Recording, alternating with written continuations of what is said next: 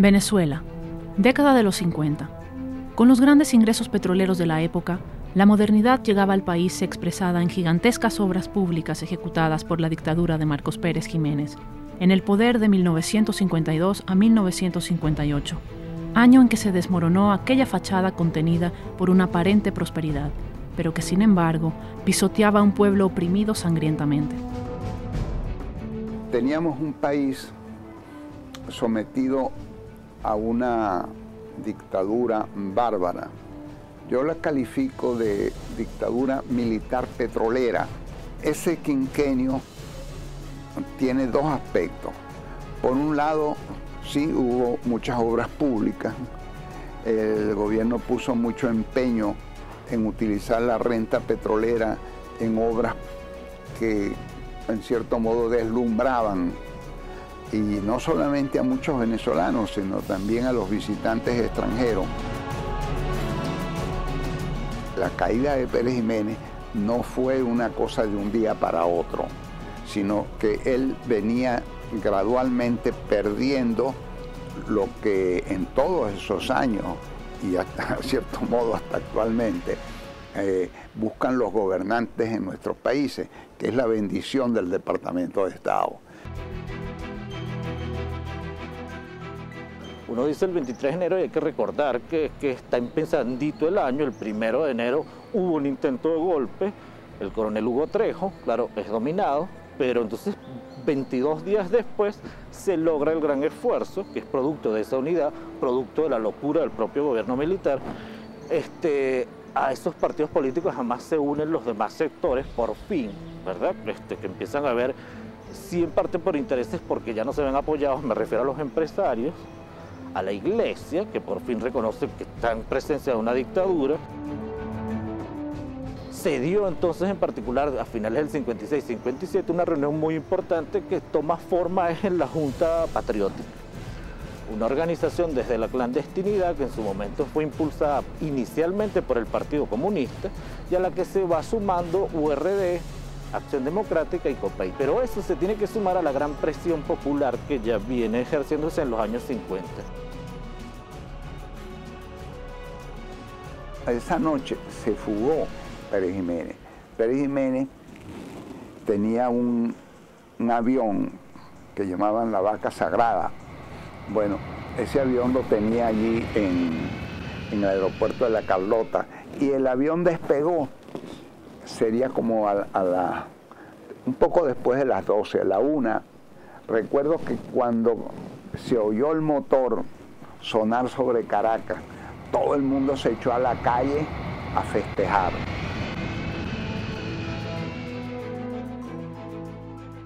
Yo era un modesto militante de base, pero teníamos una célula en la empresa donde yo trabajaba, que era la General Electric de Venezuela. Recuerdo que a las 12 del día del 21 de enero, los camaradas en la General Electric en Sabana Grande, estábamos a la expectativa de no saber cómo respondería la gente a esas hojitas que nosotros habíamos repartido. Y para agradable sorpresa nuestra, vimos que todos los trabajadores dejaron el edificio de la General Electric, un edificio muy grande, y cuando salimos allí a la calle, a la esquina, vimos a la gente luchando con la policía, y la policía quedó en derrota. Los policías tuvieron que salir huyendo, y, y rápidamente eso se extendió por toda Caracas. En la calle habían caravanas de todo tipo y acuérdate que había el acoso a la seguridad nacional, el pueblo estaba eh, eh, pidiendo pues, la, cabeza de, los esbirros más conocidos, el gavilán, el, esas cantidades de torturadores de la, de la seguridad nacional y habían caravanas de todo tipo por el centro de Caracas, por, por toda Caracas, pues, y me imagino yo que en el interior. El 22 va a la urbanización 23 de enero, donde nos ataca a nosotros el bloque 23, 24 y 7 machos. Ahí duró 24 horas echándole a la Seguridad Nacional plomo a la población. A las 12 y 17 minutos sale un avión y esa pasa por el 23 de enero y nosotros decimos, ahí va Pérez Jiménez.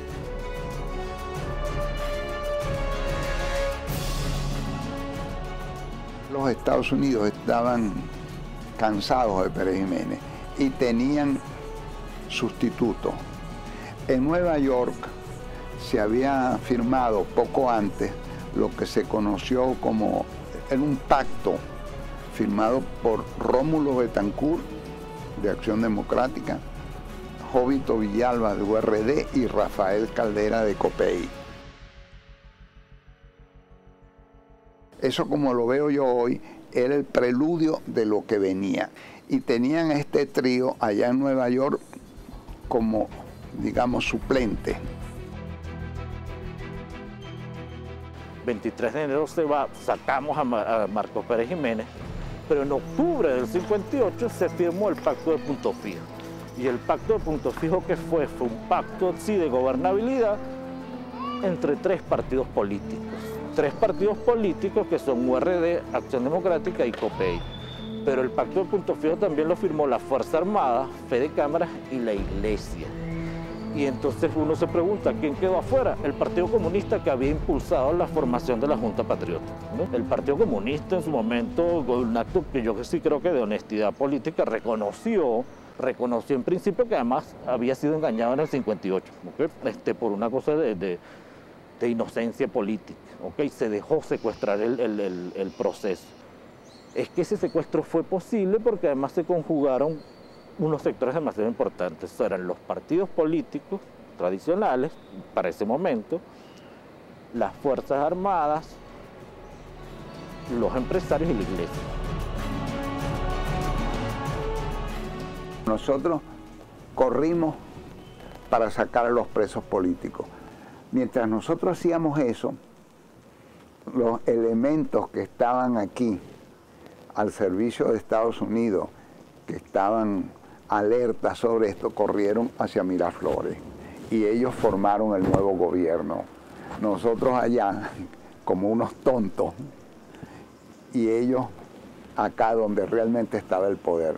Si el Partido Comunista hubiera tenido una dirección realmente previsiva, que hubiera podido manejarse en esa situación tan, tan así complicada, con más mm, claridad, nosotros también hubiéramos recibido instrucciones, camaradas, todos a Miraflores para tomar el poder, porque era en Miraflores donde estaba el poder.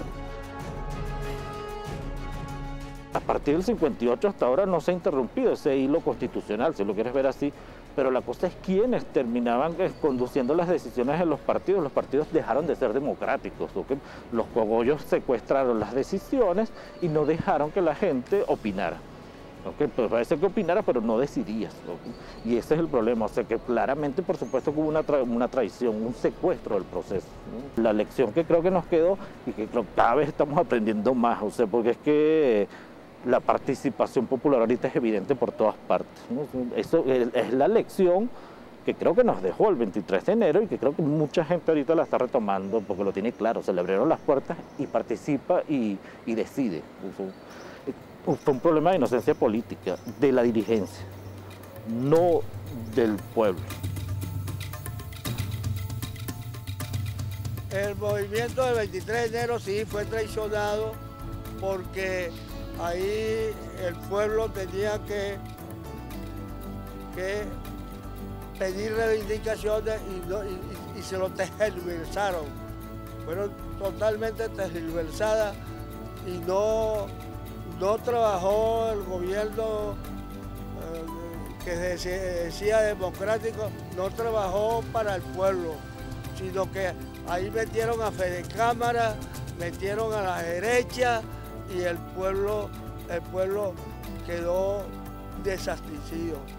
que lo primero que hicieron en el pacto de Funtocido fue excluir a los comunistas que fueron los grandes, los, que más lucharon en, ese movimiento contra Pérez Jiménez y a otras, y a otras organizaciones sociales. fue un pacto exclusivista entre partidos, entre Rómulo Betancourt, Caldera y Jovito Villalba, que, que indudablemente que traicionó el espíritu del 23 de enero.